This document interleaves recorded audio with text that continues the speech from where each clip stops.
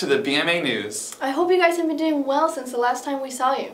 Let's start off with a spiritual thought from Raquel.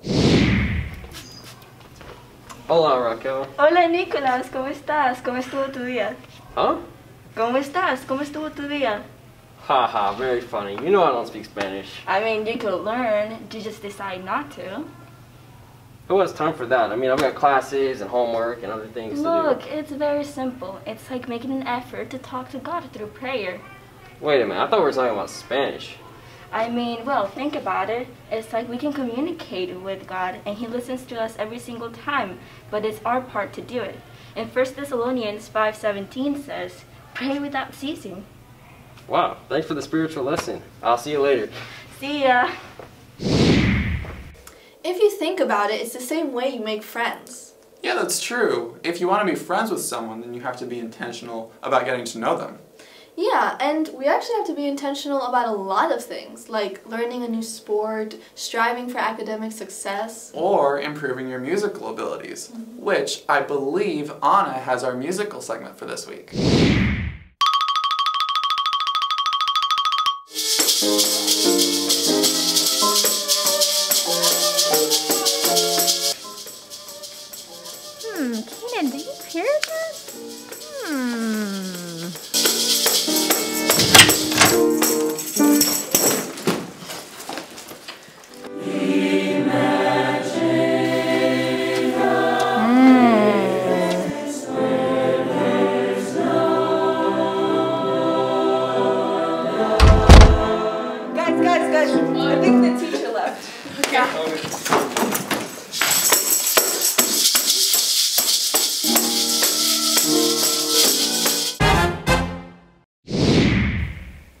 Well, I am certainly excited for the Easter cantata. Yeah, keep up the good work, guys.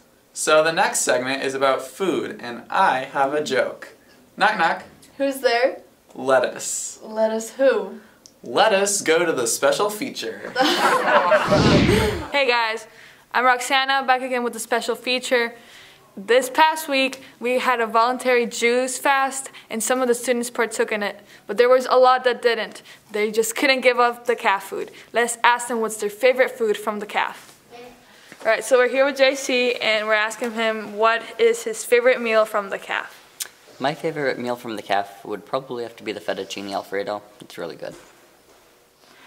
My favorite meal of all times is the Indian haystacks. Love them. Breakfast burritos. So we're here with Aussie and we're asking him what's his favorite meal from the caf. My favorite meal from CAF is Capri sandwiches. I have to say it's the breaded ravioli with the roasted cauliflower. I don't know what they do with the cauliflower, but it's so good. My favorite meal from the caf is mac and cheese and french fries and chicken nuggets. Or I might need to go with the croissant sandwiches because they're pretty good too. So now we're here with Madison. She works here at the Learning Center as well as in orchestra and choir. So Madison, what is your favorite meal from the caf? I think my favorite meal is the Capri sandwiches. Okay, so now we're here with Juhyun and we're asking him what's his favorite meal from the caf. Uh, Indian haystacks. All right, so that's it from my part. Back to you guys. I don't eat at the caf often, but when I did, I had fettuccine alfredo and it was mwah. Mm, that does sound delicious. Speaking of that, I heard that there was a rumor going around the school. Something about cows? Hmm, let's move on over. Hello, my name is Daniel Falco, and today I'm going to be giving you guys the fun fact. The fun fact for today is 7% of Americans think that chocolate milk comes from brown cows. I don't know. Let's see the staff. Do you think chocolate milk comes from brown cows? Absolutely. Absolutely. It does. It has to. Do you think chocolate milk comes from brown cows? no way. I'm sure it, it doesn't. Okay. Do you think chocolate milk comes from brown cows? Chocolate milk comes from brown cows? Obviously. I would say yes. Do you think chocolate milk comes from brown cows? Chocolate milk definitely does not come from brown cows.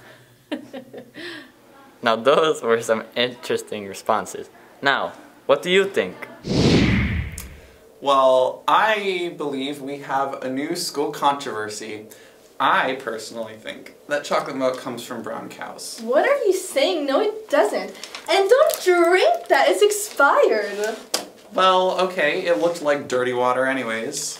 Well, it did rain yesterday, actually. Well, April showers bring May flowers. Weather crew, take it away. Hi, my name is Katerina. Hi, my name is Caitlin. And, welcome, to the weather segment. The snow has finally melted and it feels like it's been cold forever, Wait, but so now it's. ah, I get it now. Okay, guys, so this is the ever segment out no, here. no, it's Wait, not. no. This is not. No, this is Wait, not. we talked. It's we the talked weather about this. No one ever knows. It's the weather segment. You're not in this. Anyways, our weather for this coming up days will be a lot of rain showers, but also a lot of sun with highs of 50s and lows of 30s. No, no. Get out of here! Maybe we'll do an ever segment next time. Maybe. I think you'd like that. Finally, we have a potential staff member in the building. Oh, that's exciting. We have some videos you might be interested in seeing. All right, class. Today we're going to conquer another exciting topic in the life of mathematics, and that is the quadratic formula. The quadratic formula is very useful because it lets us solve for both roots of a quadratic equation without doing factoring. That's a very complex formula, but it's one that you should probably memorize. So I'm going to write that formula on the board right now. So everybody give me your attention and please remain very quiet while I write this on the board. Here we go. When you have a formula in the form ax squared plus bx plus c equals 0, we know that the roots x1 and x2 can be found. Minus b plus or minus square root of b squared minus 4ac all over 2a.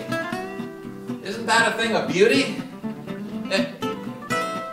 Wow! Inconceivable!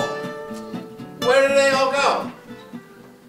Oh, I know. I can mark them all absent.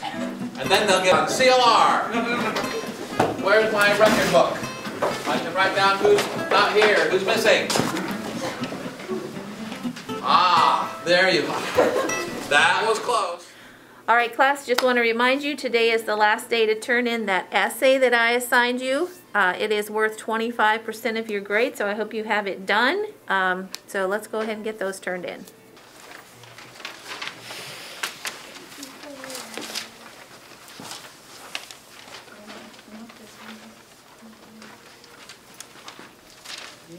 Miss Matthias, here's an essay. A lot of blood, sweat, and tears went into this. Yeah, you know they say a thousand words equal a picture. I can explain this to you. So I was dreaming about a place in agriculture. And then the inspiration came to me, and this is what I had to write about, but I drew it. So here you go. Oh my. Um, I'm guessing that you just couldn't find the words to express It wasn't what you wanted to say. Chickens are supreme. Well, your lack of words will equal my lack of numbers. I don't think I can find any way to express that in my grade book. Okay, as you know, you have a test on Wednesday. Come on, you should study for this test. Look at how you're dressed. Shorts, sweatpants, whatever goes on. Hey, hold on a second. I got a phone call. Don't go anywhere. What is this? Let's go, guys. This is our chance.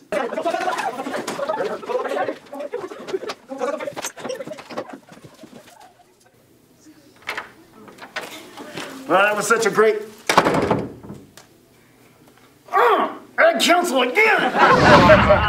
That's a little insight for you on the life of a BMA teacher. Did you spot us in them? Sorry for leaving you, Mr. Engen.